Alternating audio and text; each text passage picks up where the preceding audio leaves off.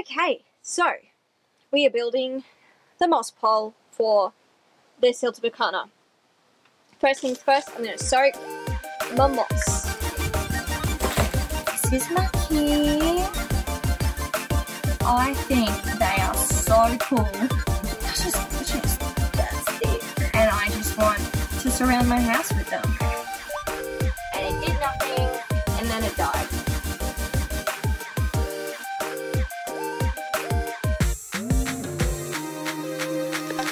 Okay, and because I'm dealing with mealybugs, I'm gonna add a bit of this to the water. Mmm. Mmm. And also, because I broke a number of roots, I'm gonna add this. Probably won't do much, but can't hurt. And it smells nice. So, I'll leave that for just a second. And I'm gonna try, because this pole is so big, it dries out really quickly, so I'm gonna try and see if I can make a self-watering moss pole. They seem to be, you know, all the rage these days. I have this Venetian blind cord from Bunnings, but this is dirty, so clean. I have a cap. I'm going to feed. This is all just experimentation. Cord through. There we go. See how well it works with a really long one. I'm worried that it won't work because everyone that I've seen do this have done it with really small moss poles. So I don't know. Ah, it is out the other end.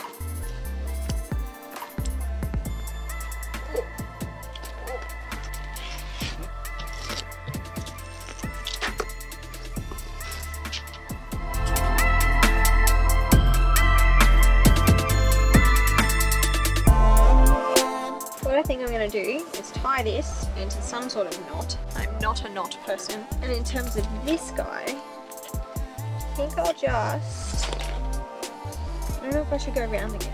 Yeah, whatever.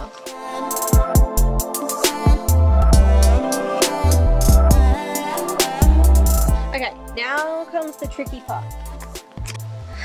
Alright, I have this uh, plastic trellis from Bunnings that I am cutting not really in half but I'm cutting so I have two bits. And together they will make up one bit. Duh. But that will um hopefully be long enough to have a semi-decent moss pole so I can fit more moss that way and I think the roots are happier. And that way if I ever have to take apart a moss pole again we won't have the disaster you saw that was my that is my shower. Ah, bit one. What I'm going to do to start with is cable tie these two strips together. We just so happen to have clear cable tie.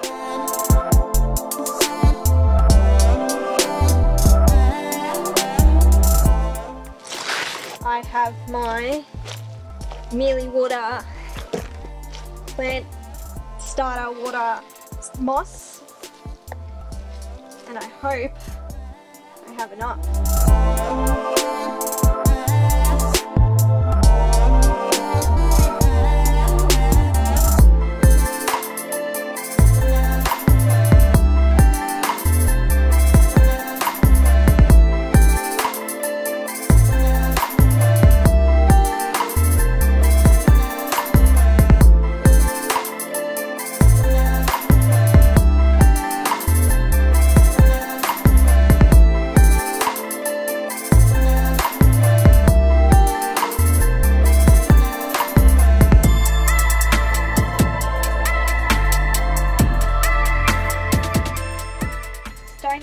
Have moss.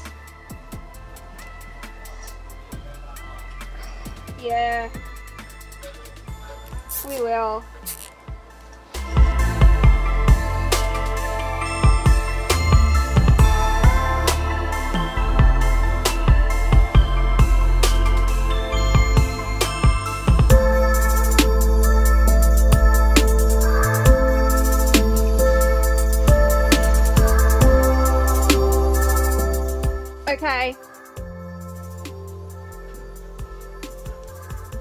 We're going to take this upstairs and see if it works.